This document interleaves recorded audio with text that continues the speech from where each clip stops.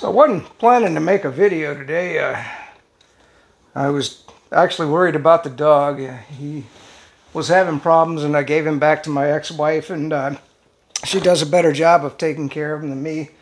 But let's get into the things that I think will help you the most before I get into the meat of the video. I bought this new uh, UTK. Hopefully you can see that. Heat for pain relief infrared heating pad and uh, I've tried it out and I'm going to tell you what I mean I, I got massage therapy coming tomorrow. By the way if you're not into massage therapy uh, if you've ever broken your neck or you know had surgery I mean it's massage therapy they can get in and unknot those muscles but I'm telling you it says relieves pain reduces tension and stress I'm not sure about that enhances blood circulation maybe so and helps muscular relaxation. But I'm going to tell you what, I'm in less pain. And I've only used this thing one night. so, so maybe uh, the, the, company is www.u. I, by the way, I don't get any money for this. This isn't a paid advertisement. UTKtechnology.com. You can find them on YouTube, but just look for uh, infrared heating pad. Uh, it wasn't cheap, man. It was 130 bucks, and I have a heating pad, and I use a regular heating pad on a regular basis, but it just doesn't seem to do no damn good. But anyway, let's get into the news just a little bit. Uh, this isn't a watching the world burn video. I, I, actually want to talk about the book and what's coming. So uh, this was from Sprinter, countries with the largest military submarine fleet. Guess who has the largest submarine fleet? And Colonel Douglas Macgregor talked about this, and I was like, damn, that guy seems to know everything. Russia. Russia is at 65. We're at 64. China's at 61. Can you imagine? North Korea has 35 uh, submarines. Japan is 23. I, who would have thought Japan? And South Korea is 22. Iran, Iran of all things, 19. India 18. Turkey is 12, and Greece at 11. And I just thought that was a that was a post on X. Uh, I have to trust the numbers. Did I research it and make sure those numbers are correct? No, I did not. but, but I find these things interesting. I'm like, people post stuff and you're just like, son of a bitch, Russia has more submarines than the United States. And Macgregor talks about the fact that we can't support a war, you know, with U.S. troops in Ukraine, although we have U.S. troops in Ukraine right now fighting, uh, because if we did get into a full-fledged war without nukes flying about, which probably would happen, uh, we still couldn't be able to get our ships across the ocean because the Russians would sink all our ships. I, you know, it, it amazes me the stupidity of our elected officials. This was DD Geopolitics. Uh, President Assad, in an interview with a Russian journalist, uh, Vladimir, isn't it amazing how many people in Russia are named Vladimir? it just cracks me up. Slovenian. The Palestinians are not a legal, a legal a state that aggresses against other state, nor is it another people coming to occupy the territory of another people in a neighboring state. The Palestinians are the rightful owners of this land, and it is their land that has been occupied.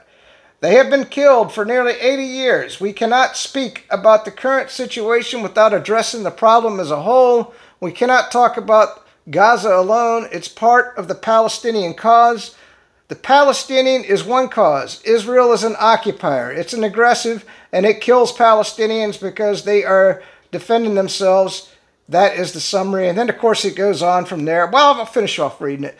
The people in the West are not bad people, but the media is aligned with politicians to make the people ignorant so that they can say anything to them and make them believe anything. Yeah, the Democrats. The Democrats control the media.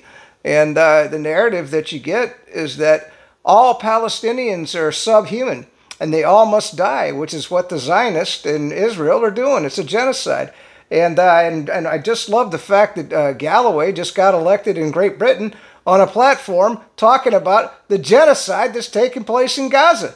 Because that's what the Democrats, the bloodthirsty Democrats, want. They want all Arabs dead. If you're an Arab in the United States, a Muslim in the United States, how in the hell can you vote Democrat? I just want somebody explain this to me. Leave a comment below.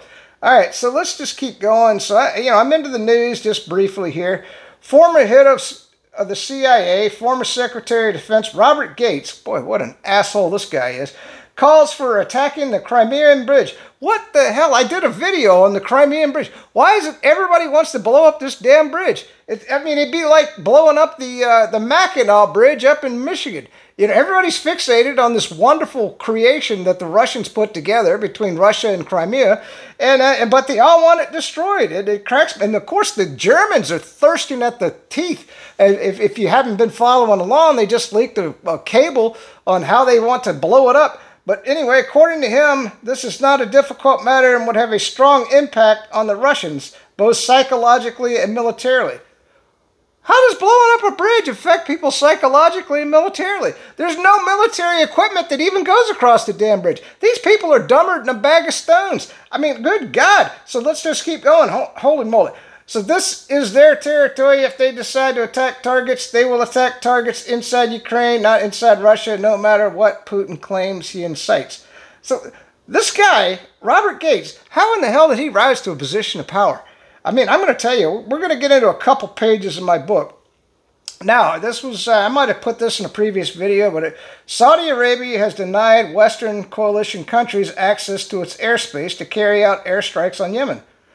Well, yeah, because Yemen would blow up their oil fields. I mean, what the hell? At least Saudi Arabia has one brain cell left in their heads, not in the United States, the Biden administration. By the way, Victoria Nuland, the, the spider, sounds like she has resigned. I mean, oh my God, you know, what? I mean, what we need to do is we need to move her to Ukraine. She obviously fostered Ukraine. She killed over a million Ukrainians. I think she needs to go live in Ukraine. I, if you're for that, you know, give me a thumbs up, you know, give me a like on this video. I want Victoria Nuland to move to Ukraine because she is the culprit of killing over a million Ukrainians. Kind of like Fauci. Fauci killed millions of people around the world. Of course, neither one of them are in jail, which is amazing to me. It's kind of like, you know, if Hitler had survived the war, that nobody would throw Hitler in jail uh, after he killed you know 25 million Russians. I mean, at least Hitler had the sense to blow his own brains out. But I mean, even Victoria Nuland, you know, I don't think she's going to blow her brains out. Fauci's not going to blow his brains out. And these are these are people that have killed millions upon millions of people around the world. I mean, you know, it, it, the whole world just seems really bizarre to me at this point. I, I know that God's out there and He's fighting for us, but uh, you know, we'll see. Uh, of course, and then there was uh, even more massacres that were carried out by the Israelis. So let's get into a little bit of stuff. You know, this is uh, called Ferry Morse, F-E-R-R-Y-M-O-R-S-E, professional grade vermiculite. Vermiculite. Now, if you didn't know, it's it's seed growing season here in Florida, and I've got these seed trays, and I actually have the soil ready to go. So I'm going to be planting, and there's heating pads that actually go underneath these seeds. You can go on YouTube and learn how to grow seeds. So the garden is going to get going, and uh, I'm looking forward to that. Uh, but the whole purpose of this video was just to talk about the book a little bit, because supposedly uh, something is going to drop tomorrow. I don't know. I don't know who might watch it, uh, if, if, if anybody will. It's uh, I'm going to give you the organization, Our Country, Our Choice.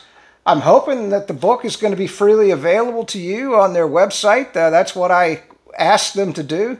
Now, it's been almost two or three weeks since I sat down with Colonel Douglas Macgregor and we talked about things. Uh, I guess we'll see. But I did want to read you the first couple pages uh, of the book, and I know this is going to bore the shit out of you.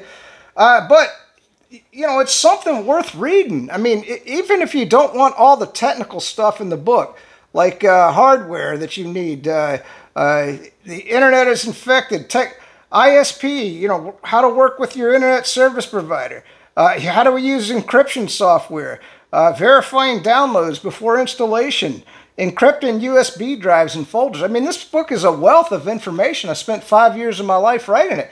And so I just wanted to give you a quick sample of what's in the book because if it does drop tomorrow, I hope you have the common sense. And I understand everybody's got limited time and who reads books anymore, right? I mean, you know, but still. So, let's just read the first two pages and this, uh, you can turn off right here because it's going to get boring here. While it is the intentions of this book to help people worldwide achieve a greater degree of internet privacy and freedom, I cannot know or exhaustively write about how much governments are spying on their citizens. I did a whole video on how the NSA is spying on you. Everything you do on your cell phone, it's a weapon. Your cell phone is a destructive piece of equipment. It should be viewed as a gun okay, that you're giving to your kids. And I did a whole video on that, and of course, I got crushed. I'm completely censored. I, I, was censored before, then I got censored even more. But let's just keep going. Since I am a citizen of the United States, I chose to use the U.S. government as my example of how expensive and well funded these apparatuses have become in conducting internet spying on your online activity. By the way, I did ask Colonel Douglas Macgregor to read the first chapter Maybe he did, maybe he didn't. He's a very, very busy man. I can't imagine that he would take time out to read my book. In my country, the, the communication trust between citizens worldwide and the U.S. government has been grossly violated on a monumental scale. We're going to get into some of that, okay? For example, the United States national security state has gone much too far in its collection of U.S. citizens and our friendly foreign neighbors' private data I don't understand how U.S. veterans and our younger. By the way, I, my disappointment in U.S. veterans is just beyond belief. They don't give a fuck about anything. I mean, I, I've approached three veterans organizations and asked them to contact Our Country, Our Choice because all Colonel Douglas Macgregor wants to do is come up and give a, a speech to the veterans and say, you know, hey, you know, maybe we need to like uh, do something besides uh, send candy to our troops overseas. But anyway, so that's just me. Foreign neighbors' private data. I don't. Younger generation can ignore this penetration into their privacy. But it is my hope and dream that they will someday wake up and object to these threats that have requested that this monitoring cease. The world also discovered that the US NSA, the largest taxpayer funded intelligence agency on the earth, can you imagine? We're spending so damn much money on the NSA to spy on us as a nation. And the American people don't give a shit, especially veterans. Veterans don't care. I mean, they, they just want to, like, you know, go play golf and exist on their. You know what? It's all, that all that shit's coming to an end. You know, all your little pensions and everything, it's all coming to an end. But, you know, I, I hope that uh, they, you know, they'll, they'll feel the pain soon. But let's just keep going was monitoring the calls of over 35 world leaders, as well has done immense harm to the United States relations with its allies, which didn't seem to happen. I mean, I wrote this back in 2016, and this was Angela Merkel, and she was being spied on by the NSA, and, uh, and she objected to it. But somehow they got a grip on all the European leaders, and then they, they got Germany with Scholz to commit suicide. I guess they got my only guess is they got so much dirt on them that they'll just do anything that the United States CIA tells them to do. And that's that's the situation in Europe right now. And, and that's why the people there aren't represented at all, just like we aren't. But let's just keep going. From the article, NSA monitored calls of 35 world leaders after U.S. officials handed over contacts by James Ball at The Guardian, Friday, uh, 25th October 2013 the revelation is set to add to monitoring diplomatic tensions between the United States and its allies. After the German Chancellor and Angela Merkel on Wednesday accused the U.S. of tapping into her mobile phone. Duh! they tapped into everybody's mobile phone. Around the world! But let's just keep going. After Merkel's allegations became public, White House Press Secretary Jay Camney Carney, C A R anyway, Carney, issued a statement that said the United States is not monitoring and will not monitor the German Chancellor's communications, but that failed to quell the, the row as officials in Berlin, Berlin quickly pointed out that the U.S. did not deny monitoring the phone in the past. yeah, I guess Germany and the rest of the world is waking up to the fact that we monitor everything. We collect everything with the NSA, a facility 25 miles out of Utah. You know, if you want to go visit, that's what I encourage you to do. I get a lot of leftists that go, "Oh, you're lying, you're lying, you're lying." Go, go visit fucking Utah, man. You don't need to listen to me. Go there and see how close. It's like Area 51 on steroids. I guarantee you, you can't get close to this NSA facility, uh, or, or you could get closer to Area 51 than you can to this NSA facility. All right, so then it goes on. Arriving in Brussels for an EU summit, Merkel accused the United States of a breach of trust. We need to have trust in our allies and partners, and this must be established once again. I repeat that spying among friends is not acceptable against anyone, and that goes for every citizen in Germany. And of course, then I give you the Guardian article.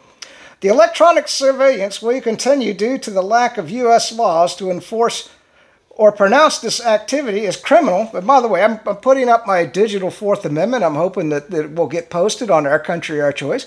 But let's just keep going because there are no laws. It's not written in the Constitution. We didn't have an internet when the U.S. Constitution was written. Do you understand that? So let's just keep going. The outrage of U.S. citizens' lack of attention or care are for this ignominy.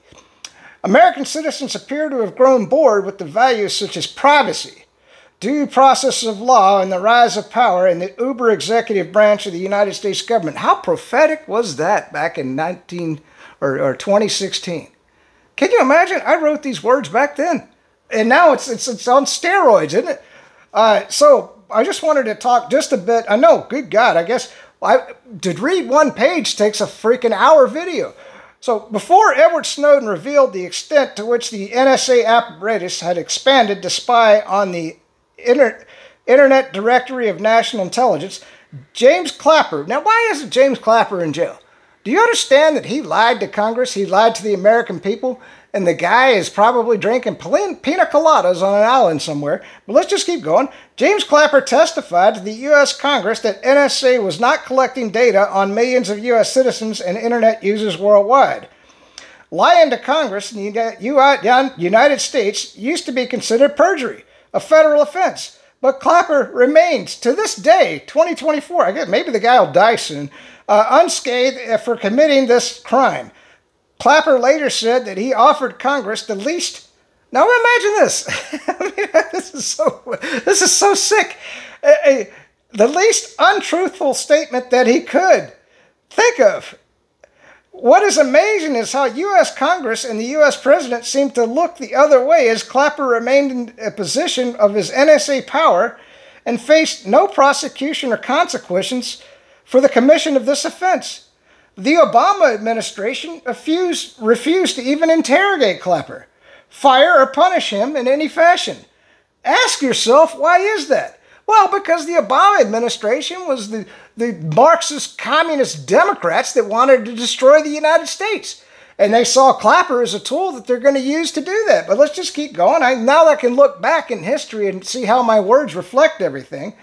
Is he or the, the next J. Edgar Hoover? Well, absolutely he is. He knows everything about everybody. Uh, with dirt on every politician so that he can remain in power, it certainly seems so, as he unquestionably had the NSA apparatus funded in a shiny new $3 billion Utah data facility located 25 miles out of uh, the Salt Lake City International Airport. To buffet all of this bad publicity, the Obama administration cited 22 separate briefings or meetings with members of Congress, informing them of the details of the PRISM program. By the way, that was revealed by Edward Snowden. In articles and media releases by, to, by members of Congress, they admit that they were briefed in Section 702 of FISA, but some of them confessed that they did not understand the intricacies of the program or how broad in scope it was in collecting U.S. citizens' internet slash activity data. That's because everybody in Congress graduated from a freaking Ivy League school. They're dumber than a bag of stones. These we got the stupidest people in the United States leading the country. All right, so I, I, I got to at least get through two pages. I know you can cut this video off anytime you want. Mr. Snowden later dispelled Clapper's earlier testimony when he revealed the details about the existence of the clandestine mass surveillance and data mining program called PRISM. The PRISM program was launched in 2007 to collect stored internet communications from the servers of internet backbones, fiber optic cables, of technology giants such as Apple. Remember, and by the way, I, I, remember back then there was AOL. I guess, you know, that's fun. Apple, AOL, Facebook, Google, Microsoft, Paltalk, Skype, Verizon, Yahoo, YouTube, and others. This massive tracking and monitoring program collects emails, file transfers, notifications of target activity, logins, etc., photos, telephone, social media, video, video conference, and voice over IP chats and is touted as the number one source of raw intelligence used for NSA analytic reports. This data includes locations and unique device signatures of individuals that they target. In other words, the NSA has everything. They know everything about you. You think that I'm not going to get censored even more for putting this video up? You better fucking believe it. Okay, let's just keep going. This is just this is just the first two pages of the first chapter of a 1,100 page book that you need to download at ourcountry, Let's keep going. The PRISM program is estimated to cost the United States taxpayers 20 was this back in 2016, $20 million per year. What is most disturbing is who has access to the data and how few, if any, legal challenges to which the NSA and the IRS. By the way, the NSA funnels all your information to the IRS, so the IRS knows everything about you. It's the most invasive, corrupt government. I mean, Soviet Union looks like nothing compared to the United States government. Let's just keep going.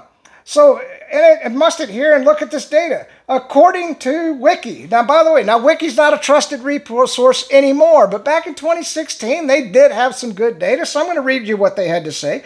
According to the Guardian's Glenn Greenwald, even low-level NSA analysts are allowed to search and listen to the communications of Americans and other people without court approval and supervision. Greenwald said that low-level analysts can, via systems like PRISM, listen to whatever emails they want whatever telephone calls, browsing histories, Microsoft Word documents, and it's all done with no need to go to court, with no need to even get a supervisor approval on the part of the analyst. And then, of course, I cite various resources the Washington Post, Huffington Post, USA Today, and, and other uh, uh, sources that I use to get this. Because everybody, all the leftists go, Where are your sources? How can you prove it? Well, look at my fucking book. Everything's right here. We're going to continue at least finish off two pages of the book. I'm sorry. I get a little carried away. The data gathering by the NSA was found to go much further when Edward Snowden revealed that the NSA and the British Government Communications, GCHQ. Now, the GCHQ is in partnership with the United States government. That's the British arm. They are in cahoots together. Understand that uh, and so the British people, there's nothing that the British people do that their government doesn't know about. But let's keep going. We're also tapping into fiber backbones operated overseas by Google and Yahoo, decrypting all the digital traffic before it gets into their private clouds, storing copies and then re encrypting it before sending it on its way. This is an entirely different program from the PRISM program, known in NSA jargon as muscular of which executives at Yahoo and Google denied any knowledge, which is beyond belief. This is a fascist government. You know that Google and Yahoo know exactly what the NSA is up to. I'm just saying. The muscular surveillance program is jointly operated by D- and GCA, but the GCA, GCHQ is the primary operator. By the way, see how they're in cahoots of the program. We have to wonder about U.S. corporate details of their knowledge of this since the U.S. companies willingly allow the NSA direct access to their networks without the world knowing about it. But yet, they have vehemently denied any knowledge of this added surveillance that was taking place. Because of these revelations, the union representing German journalists, back when we had German journalists, advised its members to avoid Google and Yahoo search engines or even using them for digital. By the way, and that's what I've been telling you use DuckDuckGo, use StartPage.com. Do not use Google. I found out tonight, I, I actually downloaded DuckDuckGo onto my phone, and guess what the default search engine was? Google. like, holy shit even a, a, private search engine like DuckDuckGo is using Google as its primary search engine. Now, DuckDuckGo goes out and they sweep all kinds of search engines, but still, isn't that unbelievable? If you're on an iPhone, your default search engine is Google. Google has 95% of the searches. No wonder nobody can find that cybersecurity guy. But let's just keep going. Citizens. The Germans are extremely sensitive to maintaining their citizens' privacy. They used to be because of the eavesdropping of the Stasi secret police. You know what? And I, I, I, have, I want to send out a plea to the East Germans. Do you remember what it was like under the Stasi? I mean, I know it's been about, you know, what, 50 years now? well, I mean, when did the Berlin Wall come down? I don't think it came. I can't remember the year. I mean, it was under what? It was under Reagan, right? So the East Germans should have a very fresh knowledge of what the Stasi uh, were doing to them. And yet now they allow everything that they do to be spied on. It's unbelievable. Stasi police informing communist East Germany. The German local internet traffic from foreign intelligence services. The Germans have some of the strictest privacy policies in the world. And then, of course, I cite various uh, uh, things. And so this video got too long. Uh, you know what? I, I, guess, you know, when I do my uh, uh, watching the world burn videos, I guess I'll just do a couple readings. I mean, we only got through two pages. There's 1,100 pages in this book. I, I'm just going to tell you, you need to download it and you need to read it. Peace out. Stay free. Oh, and this is the book. Let's get that on the video. The internet is infected. The, the ultimate cybersecurity guide for small business and home computing. Because our world needs this. If you wish to follow me other places, I post on many topics. My main interest is geopolitics.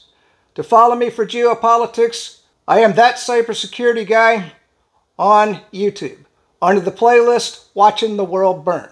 On Rumble, my channel is simply The Burn. I also post all my videos on X. That handle is That CyberSec Guy. That Cyber SEC Guy. I'm also on Gettr and Truth Social. On Gettr, it's the same as X. That CyberSec Guy. And on Truth Social, it is That Cybersecurity Guy. Also do minimal postings on Telegram at The World Burning. The World Burning on Telegram. I'm limited to 2 gigabytes there, so I don't post often unless it's a short video. I also do videos on outdoor activity because I'm into of hiking mainly. But it's Outdoors with Kirk on Rumble. That is my main channel for outdoor activity. But I also have a playlist on YouTube called Hiking, Biking, and Camping in the United States. Lastly, I do reviews and tutorials and commentary on various products. On Rumble, it is just simply that cybersecurity guy. That's my catch-all for any video that doesn't fit in geopolitics or outdoors. On YouTube, it is reviews, tutorials, and commentary on products. Hope you can follow me other places. Peace out. Stay free.